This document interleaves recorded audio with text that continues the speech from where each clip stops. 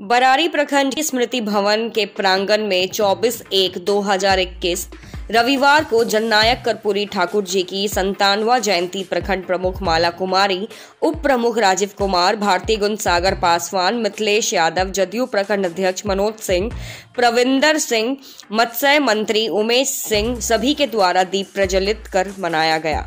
बोले वो मोमबत्ती बुता दे तू बुता दे रहे हाँ, आप देखिए मंत्री जी आगे हाँ आप देखिए करने दीजिए।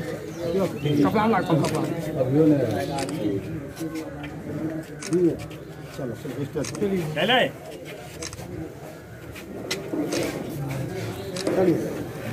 मंत्री जी। पाँच बार होना चाहिए पाँच बार है इधर देखिए इधर देखिए ना। फोटोग्राफर वहाँ मंच संचालन उप प्रमुख राजीव कुमार भारती और अध्यक्षता प्रमुख माला कुमारी ने किया। शुरुआत हो चुकी है दीप प्रज्वलित हो चुका है। बाद में जितने भी अतिथि आए हैं उनसे मैं आग्रह करूँगा कि आप लोग आके जो है पुष्प अर्पित करें। महामानव को उसके बाद फिर हम लोग कार्यक्रम की विधिवत विधिवत शुरुआत आगे करें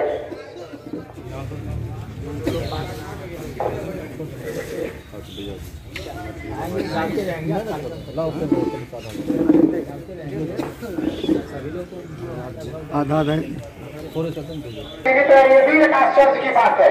पूरे जीवन काल में उन्होंने जो अपने जीवन को जिया एक बार भी वो चुनाव हारे नहीं थे।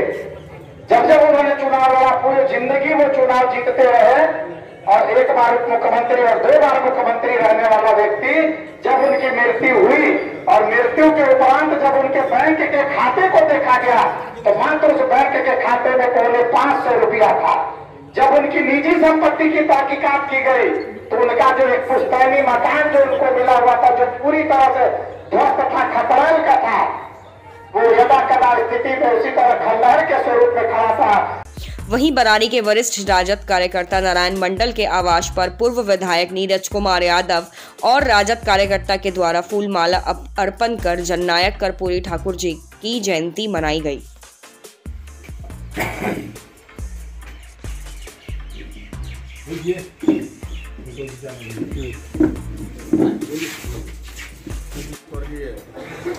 जननायक कर्पूरी ठाकुर के जयंती के शुभ अवसर पर आयोजित इस कार्यक्रम में हमारे प्रखंड अध्यक्ष केदारनाथ सिंह जी, नारायण बाबू मुफ्ती बाबू, ललिता दीदी, दल्लू भाई, संजू जी, राजीव जी विभिन्न चंदन सिंह जी गुरुदेव जी, आलमगीर भाई और पत्रकार बंधु आप सबों को बहुत बहुत धन्यवाद और अभिनंदन करते हैं कि हम लोगों ने आज बड़े ही समारोह पूर्वक जननायक कर्पूरी ठाकुर का जन्मोत्सव मनाने का काम किया। आप सभी जानते हैं कि आज प्रासंगिकता जननायक कर्पूरी ठाकुर का जन्म दिवस मनाने का और बढ़ गया है कि जो नए पीढ़ी के लोग हैं, वो जानते नहीं हैं जननायक कर या उनको जानने से अलग रखने का प्रयास किया जाए। आप सभी जानते हैं, दिल्ली में पिछले दो महीना से पूरे देश के किसान धरना दिए हुए और उसका सुधी लेने वाला नहीं है कोई। एक सौ से अधिक आदमी की जान चली गई वहाँ फिर भी सरकार सोई नहीं। तो हमारे नेता आदरणीय तेजस्वी यादव ने फैसला लिया कि हम हर एक प्रखंड और जिला मुख्यालय में जननायक कर्पूरी ठाकुर की जयंती मनाएँगे और एक सप्ताह तक उनतीस तक किसान जागरूकता अभियान सभी साथियों के माध्यम से गाँव, टोलों, अंतिम समाज में, अंतिम पंक्ति में बैठे लोगों को ये बताने का काम करेंगे। कि देश में जो ये तीन काला कानून केंद्र की सरकार ने लादा है, हम उसकी मुखालफत करते हैं। और उसी कड़ी का हिस्सा 30 तारीख को होगा, जब हम लोग मानव श्रृंखला बनाएँगे जिसमें राष्ट्रीय जनता दल होगा, कांग्रेस होगा, सीपीआई होगा, सीपीएम होगा और माले होगा।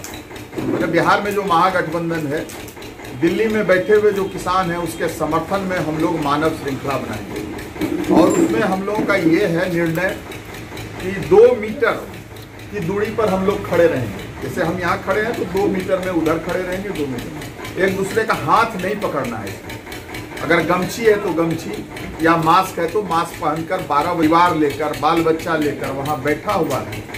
महागठबंधन ने यह फैसला किया है कि हमने उसका समर्थन करना तो मुख्य कार्यक्रम यही है तीस तारीख को, और उसके बाद हम आपसे कहना चाहेंगे, खास करके पत्रकार बंधुओं से, हम अपने नेताओं से, कि आप सभी जानते हैं कि जननायक ठाकुर क्यों प्रासंगिक जननायक चाहते थे समाज में अंतिम अंतिम से पंक्ति के लोगों को बराबरी का हक मिले, समान रूप से भाव मिले। उनकी यही इच्छा थी और लगातार उनको भी जब जब अवसर मिला, काम करने का बिहार में मुख्यमंत्री के तौर पर, नेता विरोधी दल के तौर पर, खास करके बरारी से उनको काफ़ी लगाव था। वो कुर्सेला में भी एक रात बिताए थे, एक भुस्की में लक्ष्मी बाबू के यहाँ बिताए थे। इस तरह लगातार बरारी आते थे। वो जानते थे ये इलाका गाँव गरीब किसान मजदूर और